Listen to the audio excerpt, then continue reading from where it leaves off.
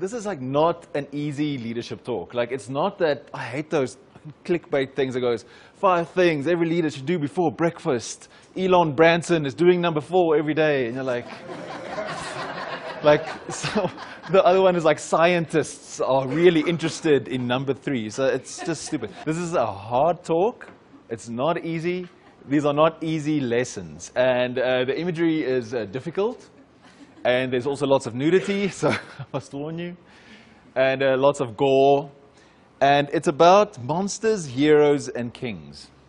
And it focuses on archetypes and myths and legends. So archetypes, a little bit of background, if you don't know what an archetype is, archetypes are really, really important to us. So it's something that exists in our collective consciousness. So we all know them when we see them right? So for example, a classic archetype would be the innocent, the innocent child, the innocent one that always gets hurt, that ends up dying, or that all the bad stuff happens to, the innocent child.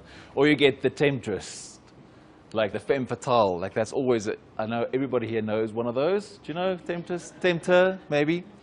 And then uh, you get the crone, the witch, like the old witch. I always mock my kids and say when we go out, it's like, don't open the door to anybody with apples don't like just don't just don't take the risk. The crone, the wise wizard, Gandalf, we'll see Gandalf a bit later again. So these are all archetypes and we all know them and they exist within us and within every one of us. So myths at the same time, myths are incredibly, incredibly important to any culture. Whether you like them or not, it doesn't mean that they're true. It means that they form a grounding true narrative. So this is like hard work. It's something that we all tap into and we tap into this semi-unconsciously. So what this talk tries to do is to just lift the veil a little bit and create some awareness. And it's got some really great leadership lessons and leadership ideas in